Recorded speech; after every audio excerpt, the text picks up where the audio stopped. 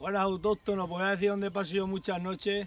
Cuando no llueve, cuando llueve me meto en la chabola cuando de frío. A mí me gusta dormir al raso. Y siempre mirando hacia el sur. Usted echa, primero se pone siempre el zamarro, que se pone debajo. Y ya está. Y te pones así mirando al sur. Cuando no es aquí, que hay en sitios peores, pues cortos el hecho y los ponemos debajo.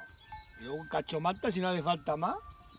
¿Qué os creéis? Os voy a contar lo que me pasó una noche con el crío y el móvil. Ahora que tenemos móvil, móvil. Y navaja. También hay que tener siempre al lado. Y un hacha por si viene por la noche algo o alguien que se lleve un susto. Están toda la noche hablando los perros. ¡Ay, Dios! O una noche estábamos, era en verano, estábamos allí y estaba el crío mío echado al lado. Yo estaba echado aquí y el crío mío como ahí.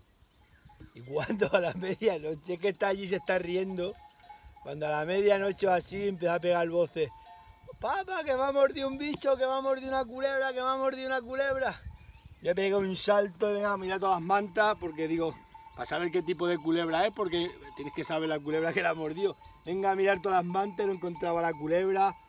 Cuando ya al momento iba andando un erizo cachero, había venido un erizo cachero le había mordido en la y decía, al principio pensé que le mordía como para aquí y le mordió en la oreja, fue no.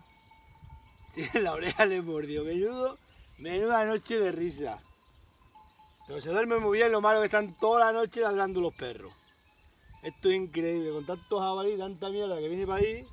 Y, nada, ¡ay! después de un día de... de, de, me- yo duermo, cuando duermes así, se duerme mejor. Si te pones una chaqueta, pasas más frío. En cambio, te quitas la chaqueta, te la echas por encima y pasa menos frío. Vamos, yo con la manta esta dormido en po, lo llevo aquí una semana.